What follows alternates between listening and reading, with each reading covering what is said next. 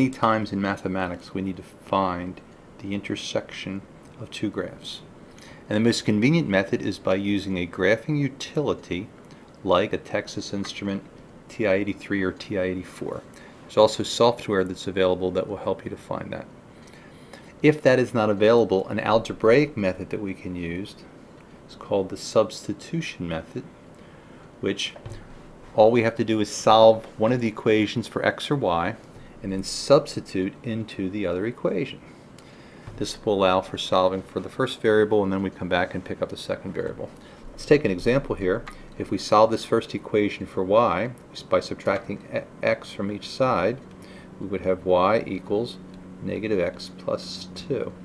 We substitute this into the second equation and this y value here, we're going to substitute the entire thing into the second equation.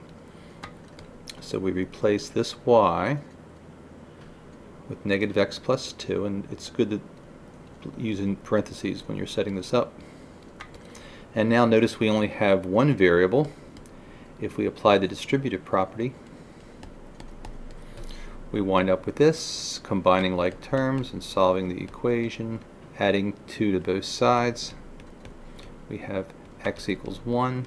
And now here's the convenient part of this method. If we substitute 1 back into the original equation, it's already solved for y. So we have the y value as 1.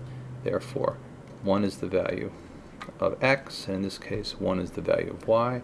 So our ordered pair would be 1, 1 is where these two lines meet. So we have found the point of intersection.